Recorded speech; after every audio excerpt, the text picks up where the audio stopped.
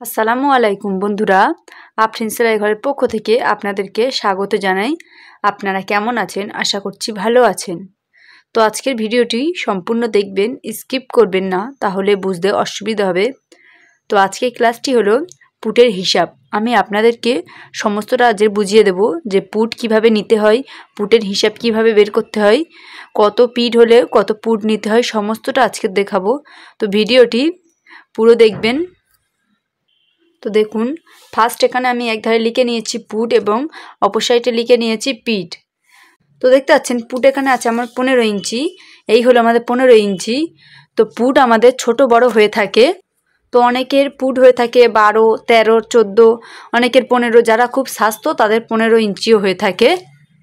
তো ওই জন্য আমি পুট বড় থেকে আপনাদেরকে বুঝিয়ে দিচ্ছি।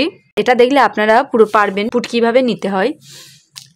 তো দেখতে পাচ্ছেন এখানে পুট আছে আমার পনেরো ইঞ্চি এবং পিট আছে আমার দশ ইঞ্চি। তাহলে পুট আমার যদি, পুটকে ফার্স্ট আমার ভেঙে নিতে হবে। তো পুট যা থাকবে তার দুভাগের এক ভাগ নিয়ে নেব।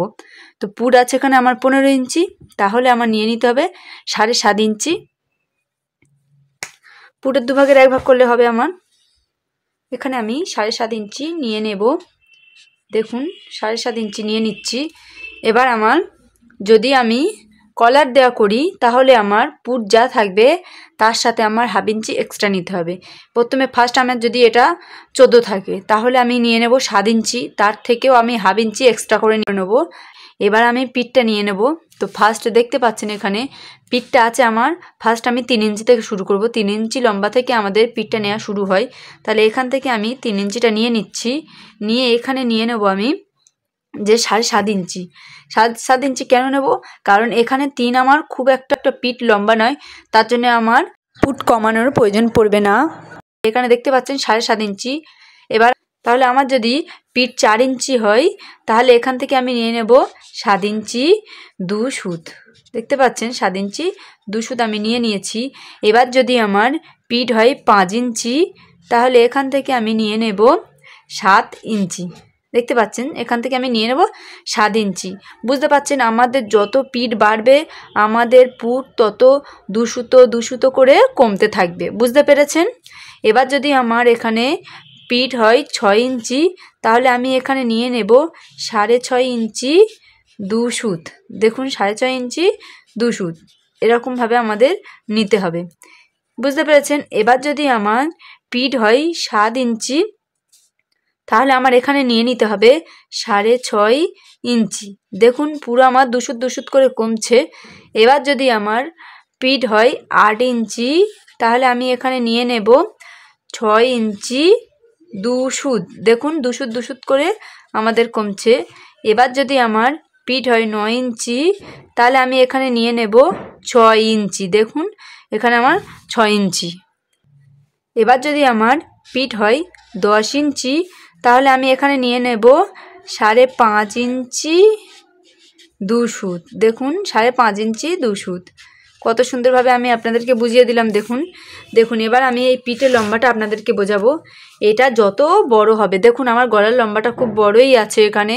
তো আপনারা চাইলে যতটুকু পারেন, ততটা এরকমভাবে নিয়ে নিতে পারেন। যত আমি গলা বড় নেব, তত আমার পুট দুশুত দুশুত করে কমতে থাকবে। তো আমি যখন এরকমভাবে ছোট নিয়ে নেব, আমার কোনো প্রবলেম হবে না, যা পুট থাকবে, নিয়ে নেব তিন ইঞ্চি এরকম।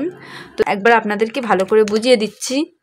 আপনারা দেখতে পাচ্ছেন, এটা হলো আমাদের পুট লাইন এটা আমরা বলব পুট লাইন এই আমাদের পুট এই পুটের মাপটা আমাদের এই অনুযায়ী নিতে হবে, আর এটাকে বলা হয় মোহরা বা আরমোল, অনেকে বলেন মোহরা অনেকে বলেন আরমোহর, অনেকে বলেন বগলের সাইড তো আপনার যে যেরকম বলেন, এখানে যেমন আমার পুটেরও মাপ একটা আছে, সেমভাবে এখানে আরমোহলেরও একটা মাপ আছে, আপনারা যদি বলেন অবশ্যই আমি পরের ভিডিওতে দেওয়ার চেষ্টা করব।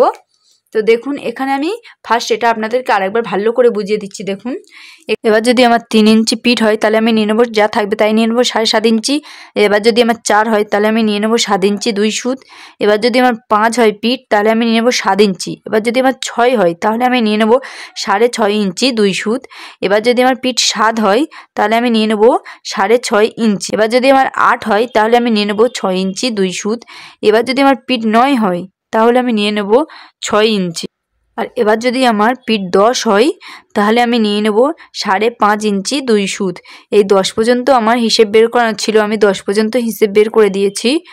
দেখতে পাচ্ছেন, এই সাত ইঞ্চি, দেখুন সাড়ে সাত ইঞ্চি এই এই হলো আমার সাড়ে সাত ইঞ্চি। যদি চার নিয়ে আমার, সাত ইঞ্চি দুশুদ হচ্ছে, দেখুন। এই সাত ইঞ্চি, এই দুশুদ যদি আমার কমে যায়, তাহলে সাত ইঞ্চি দুশুদ হচ্ছে। দেখতে পাচ্ছেন? এরকমভাবে হয়ে হয়ে যাবে, আস্তে আস্তে আমার দুশুদ দুশুদ করে কমতে থাকবে। আর ভিডিওটি যদি ভালো লাগে, অবশ্যই লাইক করবেন, কমেন্ট করবেন এবং বন্ধুদের সাথে শেয়ার করতে ভুলবেন না। আর সাবস্ক্রাইব করে বেল বাটনটি ক্লিক করে রাখবেন, যাতে আমি পরবর্তী ভিডিও ছাড়লে সবার আগে আপনাদের ফোনে নোটিফিকেশানটা পৌঁছে যায়। তো চলুন, টাটা, বাই বাই, আল্লাহ হাফেজ।